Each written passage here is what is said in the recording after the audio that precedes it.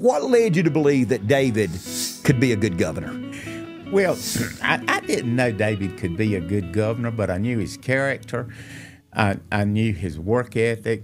I knew his uh, ability to learn how to do things, uh, really pay the price. I had watched him, and uh, I I just told David, I says, you know, no, I won't support you running for lieutenant governor, but if you'll run for governor, I'll be all in, hundred percent. And that that I not I don't think I help help make that decision, but uh, it was the right decision for David. I think he made us an excellent governor. He made the right decision in regards to the Confederate flag and paid quite the political price. He did.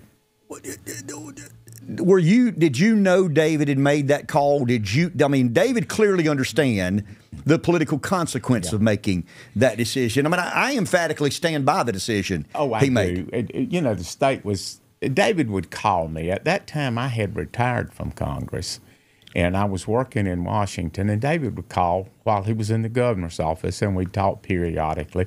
And this issue was just driving him bonkers. And the problem was it was hurting the state. Uh, it was hurting us economically. It was hurting us from a public relations standpoint.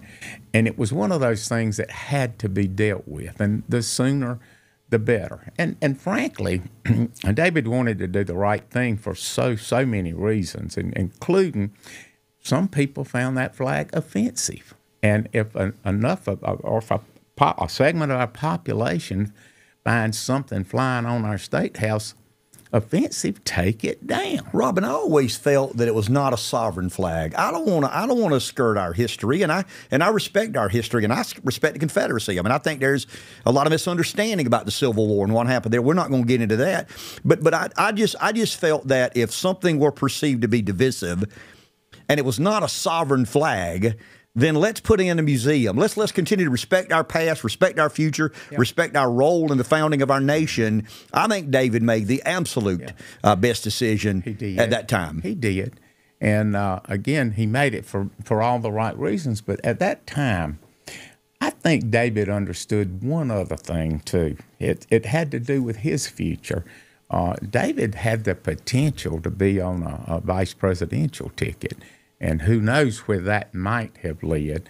And he did not need that, just like the state didn't need the Confederate flag wrapped around us, keeping us from being progressive, making progress, doing the things that we could do. It worked for David's benefit in that light. Now, it didn't help a darn bit trying to get reelected governor.